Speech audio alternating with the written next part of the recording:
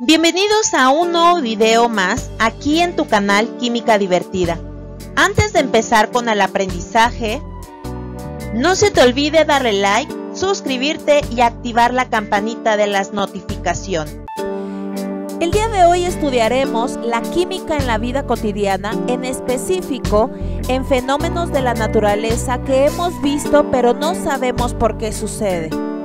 Recordando que todo lo que vemos, lo que sentimos e incluso lo que olemos es química, porque la química es el estudio de la materia y sus transformaciones. Iniciaremos este hermoso viaje con un fenómeno espectacular llamado, vean cómo, bioluminiscencia. La pregunta es, ¿qué lo ocasiona? ¿Qué la genera? Yo sé que tú lo has observado en las playas, pero fíjense que tal vez no te has dado cuenta que incluso en los animales lo podemos visualizar. La pregunta es, ¿para qué sirve esa luz en esos seres luminosos? Bueno, pues aquí te traigo la respuesta. Primero, esta luz la utilizan como armas para asustar al depredador, como protección para el apareamiento y vean qué interesante porque es también un método de cortejo. ¿Qué es esta luz o cómo se produce? Bueno, la luz proveniente de los cuerpos de varios organismos vivos es el resultado de las enzimas y proteínas que transforman la energía química en luz. La luciferina es una molécula que reacciona con el oxígeno emitiendo un destello de luz y la luciferasa es una molécula que propicia esta reacción entre el oxígeno y la luciferina. Esta luz suele ser de color verde o azul. Es decir, este fenómeno no es más que una reacción química. Si has visitado los bosques, tal vez hayas detectado una luz que se prende y apaga y nada más y nada menos que son las luciérnagas. La parte baja de su cuerpo emite una luz producto de reacciones químicas en las que la proteína luciferina y la enzima luciferasa reaccionan con oxígeno. Emiten señales luminosas con ciertas frecuencias o longitudes de onda, fíjense para qué, para reconocerse entre sí. ¿No se les hace fascinante cómo la química se involucra incluso en la naturaleza de los animales? Bueno, pues no hemos acabado todavía. Vamos con el número 2. Un día de verano cualquiera, con mucho calor, llegas a la playa y fíjense, lo primero que observas es la gran cantidad de algas presentes en la orilla.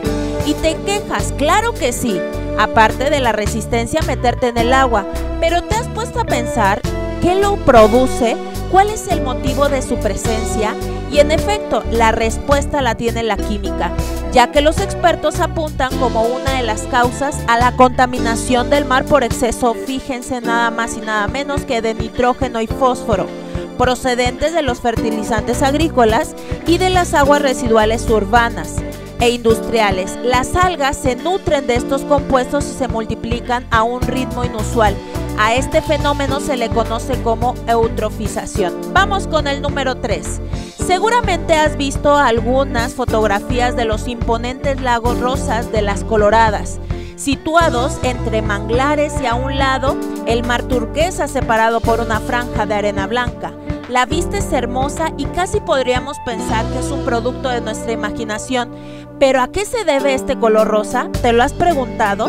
Bueno, en realidad no es un solo causante la razón del color rosa en el agua, sino una serie de distintos factores los que intervienen, pero la que destaca es un compuesto químico inorgánico que sé que usas diario y que consumes nada más y nada menos que es el cloruro de sodio, comúnmente llamado sal. Entonces, la alta salinidad de los lagos y presencia de microorganismos hacen que se presente este hermoso color en el agua. Como un dato extra, en este lugar se extrae la sal de mar número uno en México. Ahora, vámonos con el siguiente fenómeno. Por otro lado, has visto los majestuosos flamingos. ¿Qué les hace tener ese color rosa, naranja?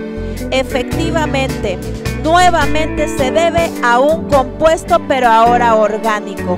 Resulta que los flamingos se alimentan de algas, crustáceos, moluscos y larvas de insectos.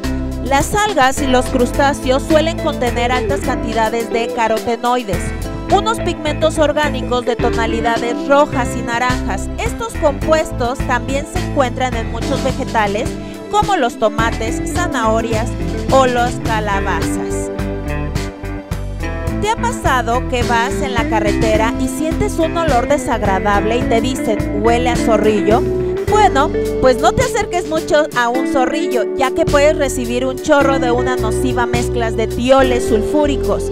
Fíjense, las sustancias químicas presentes en las cebollas crudas que yo sé que al menos una vez te han hecho llorar. Las sustancias químicas responsables por ese olor incluyen el dimetilsulfuro, que le da a los huevos podridos su distintivo olor. Una de las preguntas que nos hacemos a menudo es por qué el cielo es azul o les ha tocado ver el atardecer y maravillarse de paisajes con tintes rojos y naranjas. Bueno, los colores tienen diferentes longitudes de onda, frecuencia y energía. La luz del sol puede parecer blanca, pero sabemos que la mezcla de colores en uno solo hace que lo percibamos como blanco. Cuando la luz solar entra en la atmósfera, se colisiona con las moléculas de nitrógeno y de oxígeno. El color rojo, con sus ondas largas, logra pasar la atmósfera sin ser afectados, pero los colores de onda corta, como el azul, se colisionan y se esparcen en todas direcciones, creando el bello azul en el cielo.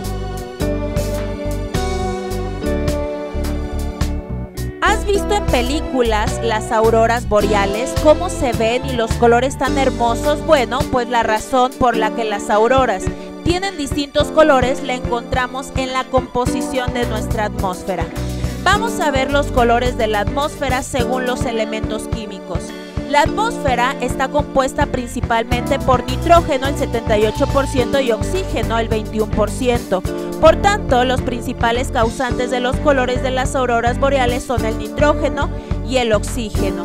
Aunque el oxígeno no es el elemento más abundante en la atmósfera, sí es el que resulta más fácil de ionizar al interactuar con las partículas cargadas del Sol. Así, que el oxígeno es el causante del color verde tan característico de las auroras.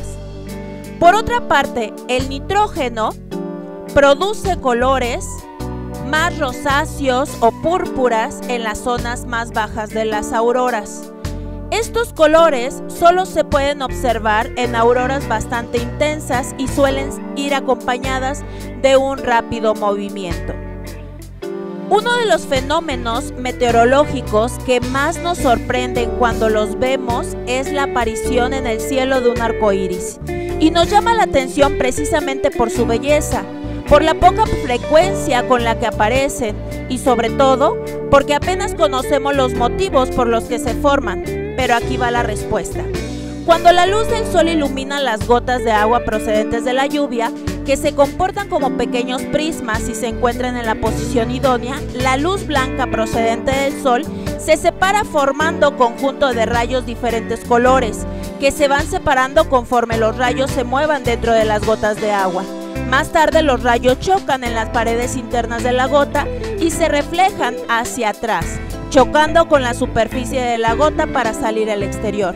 Cada rayo tendrá un ángulo y un color distintivo y como este efecto se da en millones de gotas hace que veamos un arco iris. Espero que con estos fenómenos naturales hayas visto que la química está más cerca de ti de lo que piensas.